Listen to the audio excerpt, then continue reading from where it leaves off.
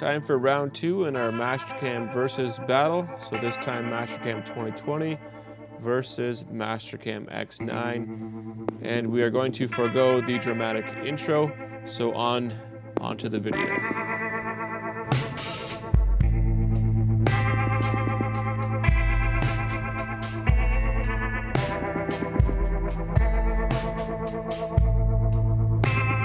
So let's start over in X9 first. So I got the same part opened up in both, um, just using a default mill. The machine that we've selected here is not going to affect any of the um, the actual tool pathing at all. So uh, in this video as well, I'm just mainly going to be focusing on some 2D, well, specifically 2D dynamic milling toolpaths, just because I want to focus on the selection methods available to you in the different versions and how those can obviously speed your uh, your programming up.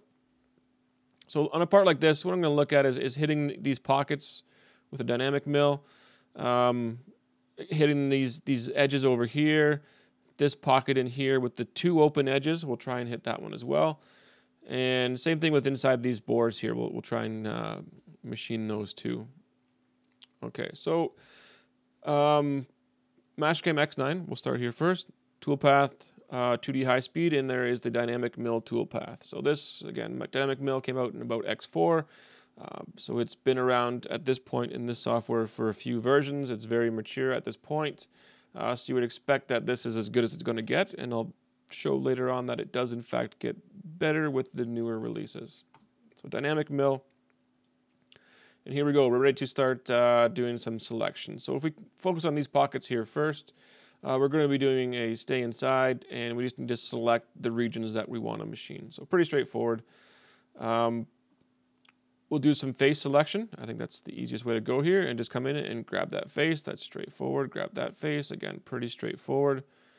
Now, if we want to do these three uh, circles in here, these three circle cavities, uh, using a face is obviously no good. If we grab this face, it will return both the outside edge and the inside edge, and we just want the outside. So over here, we're going to have to switch over to uh, just a loop selection. Not a big deal.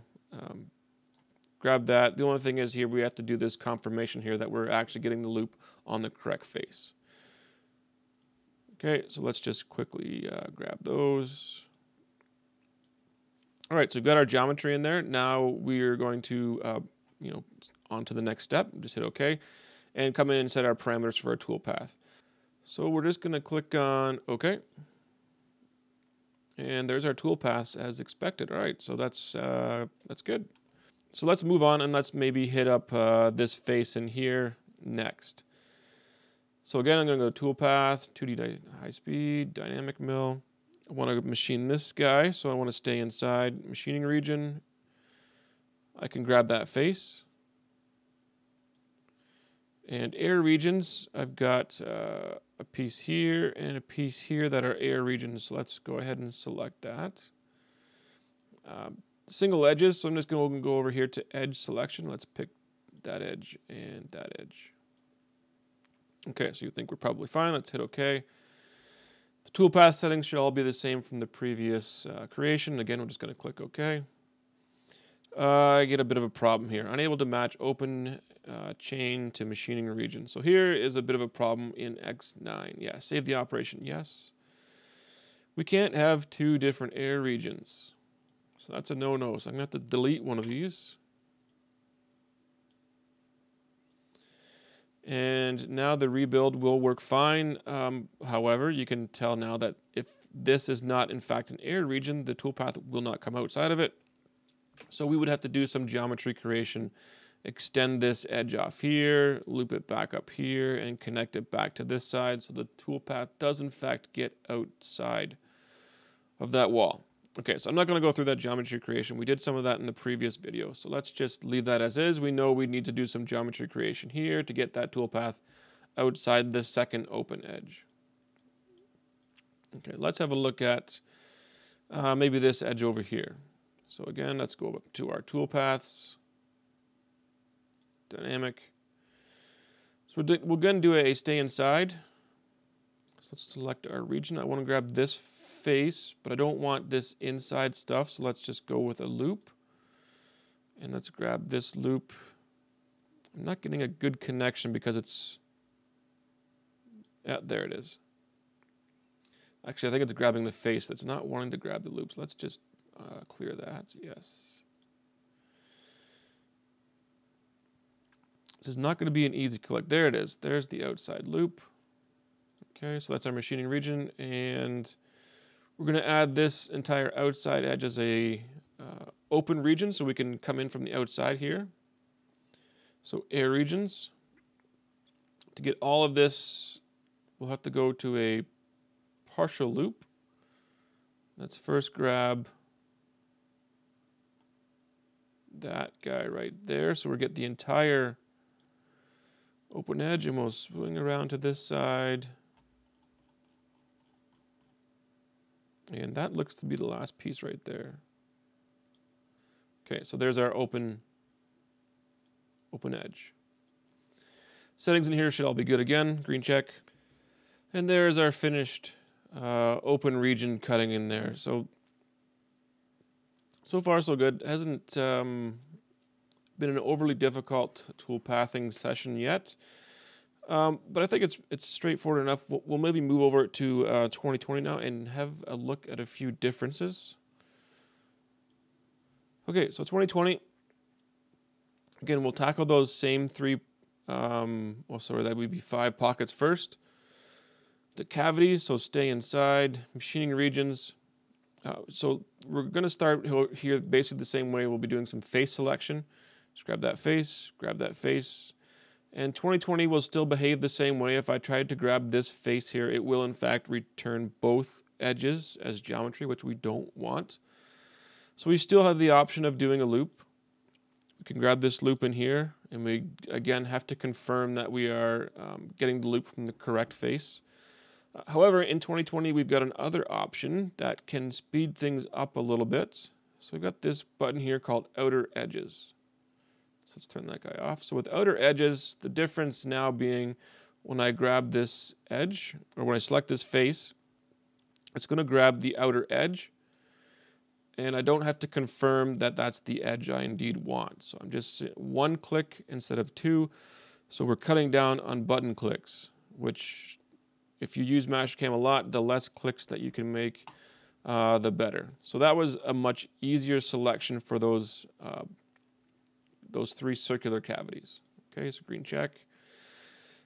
Another benefit we have here in 2020, now this is not a 2020 specific uh, version feature, but the preview chains is a difference between 2020 and X9. And again, this is extremely useful is, is that you can see what you're giving your toolpath as far as information about what you want to cut. Before you go into your toolpath, make all your parameter settings, only to find out you didn't select your geometry correctly. So this is a good check to make sure that you've got your geometry selected correctly before you even go into your toolpath and start making the parameter settings.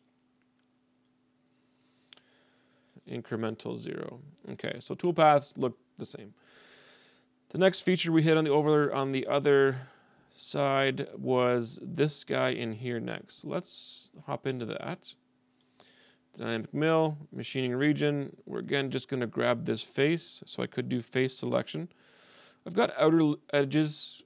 Uh, on this feature, grabbing the face would be the same as the outer edge, so instead of switching, I'm just going to grab the outer edges. Okay, so that's, that's great, green check. Uh, air regions, we have the two air regions. As mentioned in X9, we couldn't have the two separate air regions. It created a problem. In 2020, multiple air regions is totally fine. It doesn't care. It, it in fact likes it. And there's in fact even a super easy way to select um, air regions. So this selection button here, open edges, switch to that method. Click on this face. It returns both open edges, green check. Preview my geometry before I get into it so I can see the open edges there in blue. Green check, green check my op. And that face is all nicely done and it's coming outside of both open edges.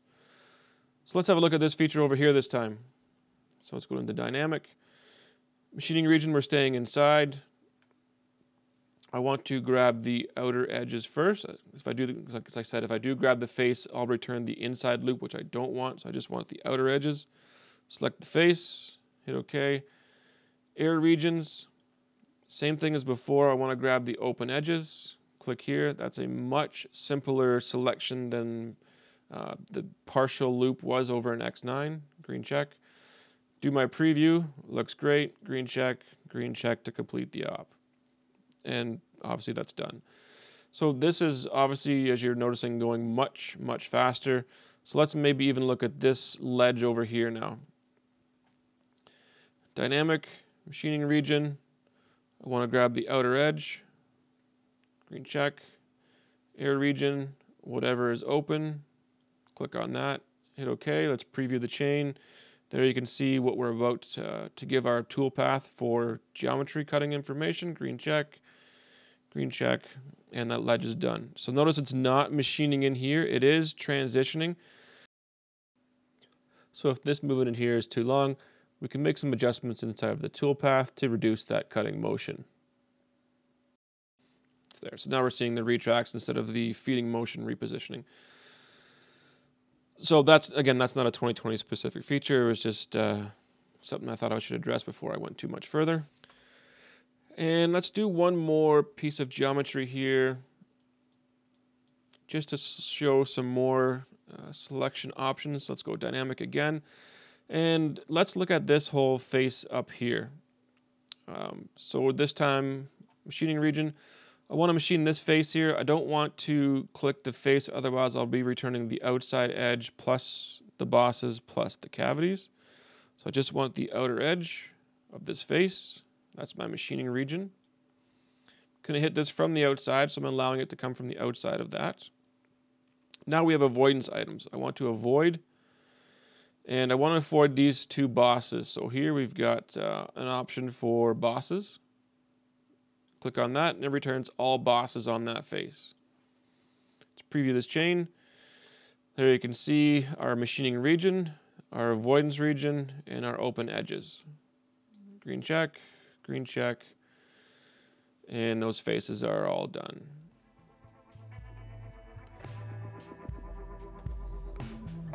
So with the rough estimate, you could see that I've basically machined 90% uh, of this part in probably uh, less amount of time than it took me to do about 50% of this part over here. Uh, so that's that. finish with this look here. We'll, we'll wrap this video up now. Uh, maybe we'll do a second video where we look at some of the 3D toolpaths and some of the other functions. Um, but all in all, this video is long enough and let's wrap things up.